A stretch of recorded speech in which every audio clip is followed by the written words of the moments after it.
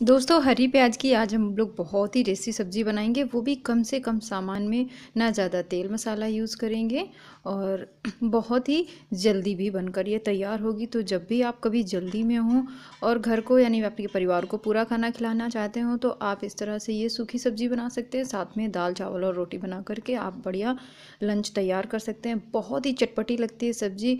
आप इसके साथ दाल बनाएँ या ना बनाएँ, आप सिर्फ़ सब्ज़ी के साथ ही रोटी या पराठा लगा करके चार चार रोटियाँ खाते चले जाएँगे। तो चलिए देख लेते हैं, कैसे बनेगी ये सब्ज़ी। तो बढ़िया हरा प्याज, ये तो मेरा, आप बाज़ार से भी ला सकते हैं। मैंने गार्डन से तोड़ा हुआ है।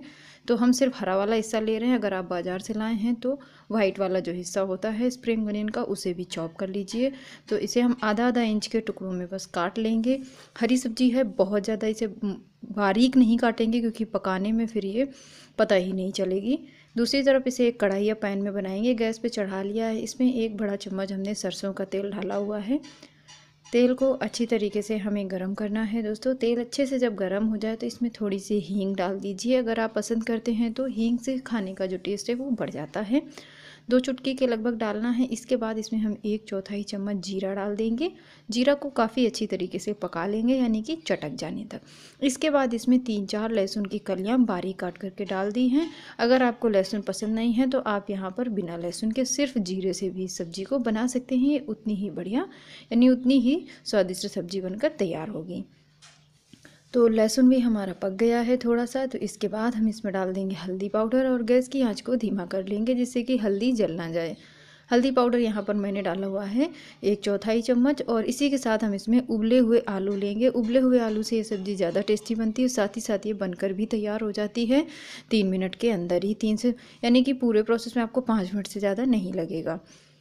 अब हमें इन आलूओं को तेल के साथ में, हल्दी के साथ में अच्छे से हम थोड़ा सा इन्हें फ्राई कर लेंगे, यानी कि स्टर कर लेंगे जिससे कि जो तेल में है ना, आलू अच्छे से भुन जाए। तो हो सकता है थोड़ा थोड़ा आलू नीचे लग जाए, क्योंकि ये जो पैन है नॉन स्टिक नहीं है। अगर आप नॉन स्टिक में बनाएँगे तो बिल्कुल भी नहीं चिपकेगी आलू। हल्के हल्के हाथों से हम नीचे स्क्रैच करते रहेंगे जिससे कि आलू ज़्यादा ना लग जाए, क्योंकि उससे फिर सारे आलू जलने लगेंगे।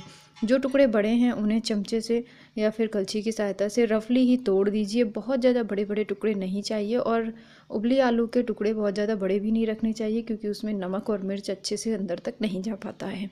अब इसी स्टेज पर हम गैस की आँच को धीमा करते हुए नमक और मिर्च स्वाद के अनुसार डालेंगे। तो नमक आप हमेशा अपने स्वाद के हिसाब से डालिए टेस्ट करके और मिर्च भी जितना आप तीखा अगर चटपटा खाना पसंद करते हैं तो मिर्च ज़्यादा डालिए। बिल्कुल थोड़ा सा मैंने बाद में गरम मसाला डाला हुआ है, एक चौथाई चम्मच से भी कम।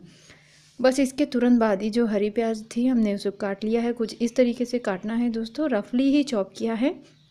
थोड़ी थोड़ी डालते हुए, क्योंकि ये दिखने में तो बहुत सारी होती है हरी प्याज बट पकने के बाद ये बहुत थोड़ी रह जाती है। तो एक साथ अगर आप डाल देंगे तो बर्तन जो है वो पूरा भर जाएगा और आप अच्छे से मिक्स नहीं कर पाएँगे।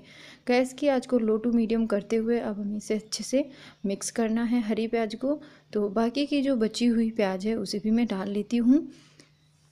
बहुत ही दोस्तों, ये सब्ज़ी हेल्दी होती है।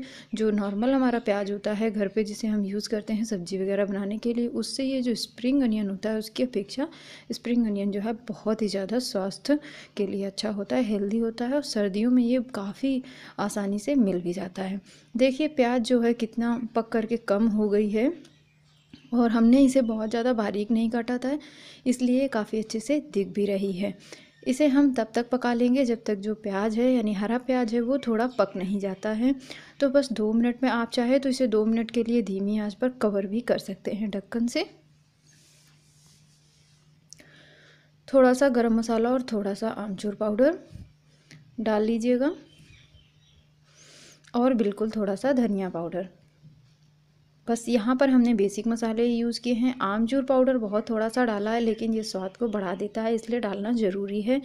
और बस हमने यहाँ पर हल्दी नमक मिर्च धनिया पाउडर गरम मसाला यही डाले मसा, मसाले डाले हैं और कोई ज़्यादा मसाले नहीं डाले हैं और सारे मसाले बहुत ही थोड़ी थोड़ी क्वांटिटी में डालने हैं। अब आलू और प्याज जो है थोड़ा सा आप देख पा रहे होंगे लटपटी हो गई है। तो हमें यही चाहिए प्याज के पकने तक, क्योंकि हरी प्याज में पानी बहुत होता है तो वो थोड़ा रिलीज़ करती है। तो इस बात आपको ध्यान रखना है, थोड़ा बराबर इसे चलाते रहना है, फिर ये नीचे लग सकती है। जैसे ही प्याज हमारी जो है वो पक जाएगी दोस्तों तो हमारी सब्ज़ी जो है वो बिल्कुल तैयार हो जाएगी। पानी इसमें बिल्कुल मत डालिएगा। तो सब्ज़ी हमारी बनकर तैयार है, मैं आपको सर्व करके दिखा देती हूँ। बहुत ही टेस्टी लगती है। आपने देखा कितने कम तेल और मसाले में हमने ये सब्ज़ी बनाई है। दोस्तों, एक बार ज़रूर आप भी ट्राई कीजिएगा। अभी सर्दी का ही मौसम चल रहा है और बहुत ही आसानी से हरी प्याज जो है अवेलेबल होती है। अगर आपने भी अपने गार्डन में प्याज वगैरह लगा रखी है तो आप उसका हरा वाला हिस्सा तोड़ सकते हैं और इसी तरह से जब चाहे तब सब्ज़ी बना सकते हैं। नाश्ते वगैरह के लिए भी आप नाश्ते में पराठा सब्ज़ी बना सकते हैं, क्योंकि ये सब्ज़ी पाँच मिनट में बनकर तैयार हो जाती है। तो लीजिए, तैयार है आपकी सब्ज़ी। मुझे उम्मीद है आज की रेसिपी आपको पसंद आई होगी। दोस्तों तो वीडियो को एक लाइक दे दीजिएगा और चैनल को ज़रूर सब्सक्राइब कीजिएगा और बाकी दोस्तों के साथ भी इस वीडियो को शेयर कर दीजिएगा।